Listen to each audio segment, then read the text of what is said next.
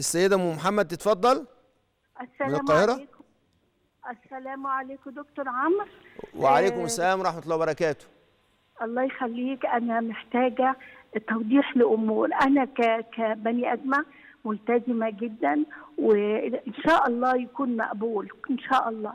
ولا وإذا مرت ظروف صعبة عليا آه، جسميا أو آه، حياتيا بقاوم وبقرأ قرآن وكل حاجة. فتح الله عليك. الله يرضى عليك لغاية ما اضطريت إني أعمل عملية. وأنا بعمل العملية يا دكتور.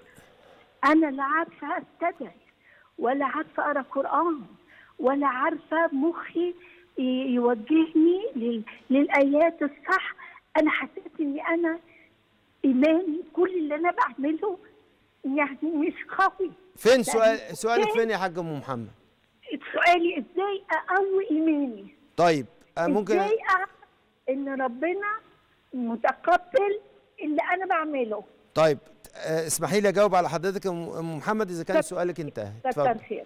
بصي يا حاج أم محمد اولا أنا عايزك أنا عايزك بس تدعي لي يعني أنت وفي الحالة اللي أنت شايف الحالة الصحية اللي أنت فيها دي وإن شاء الله ربنا يكتب لك من تمام الأجر والعافية تدعي لي لأن أنت إن شاء الله دعائك يكون ما أنت فيه سبب من أسباب الإجابة إن شاء الله. دي أول حاجة. الحاجة الثانية إن أنت ثوابك بيكتب لك سواء قادرة تقرأي قرآن قادرة تصلي أو مش قادرة تصلي قادرة تصلي زي ما كنت بتصلي واقفة ودلوقتي بتصلي وأنت قاعدة.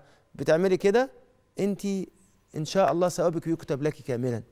فما تقلقيش على نفسك. استمري وأنت في خير إن شاء الله لأن رسول الله بشرك إن الإنسان لو كان في مرضه بيكتب له الثواب في مرضه كأنه صحيح. ربنا يجمع لك بين تمام الأجر والعافية ويحفظك يا رب العالمين.